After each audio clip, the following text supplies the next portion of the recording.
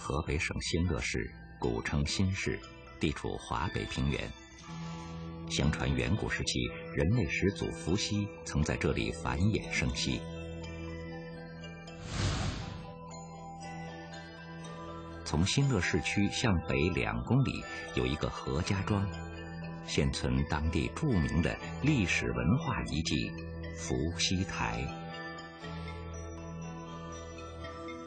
每年的农历三月十八，何家庄这座普普通通的北方乡村就会突然变得格外热闹起来。来自四邻八乡的人们扶老携幼，成群结队地聚集到这里。参加为期四五天的庙会，焚香祭祀，避祸托福。这个习俗在当地由来已久。这究竟是个什么日子呢？相传农历三月十八是伏羲的诞辰日，所以在每年的这一天，村里就会举办庙会和各种庆祝活动，向伏羲表达敬意，祈求幸福。久而久之，就形成了当地的传统节日——三月十八庙会。据说这个传统已经保持了上千年。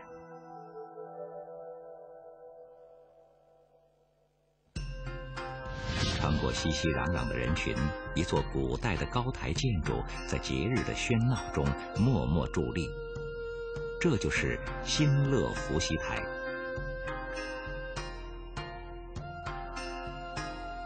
如果把三月十八的庙会比喻成一出真实生动、朴实欢快的民间戏曲，那么伏羲台便是这出戏曲的中心和高潮。庙会就像是一个大集市，人来人往，商贾云集。但是最重要的内容是人们走上伏羲台，虔诚的朝拜祭祀。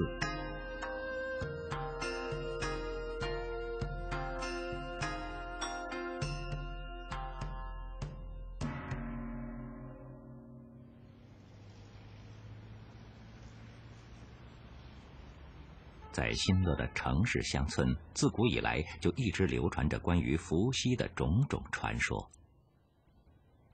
在当地老百姓的心目中，伏羲不只是人们所敬仰的人类始祖，更是生动熟悉的传奇。相传，古代洪水滔天，唯有伏羲和女娲得以幸存。他们乘坐一只大葫芦，随波逐流，飘到一处土港前停了下来。他们便在这里弃舟登岸，从此开始了新的生活。这处土港因此叫做葫芦头，而土港所在的这个地方就是现在的新乐。洪水退去之后，大地一片荒芜。为了人类的繁衍生存。伏羲和女娲在这里结婚成家，生儿育女，繁衍。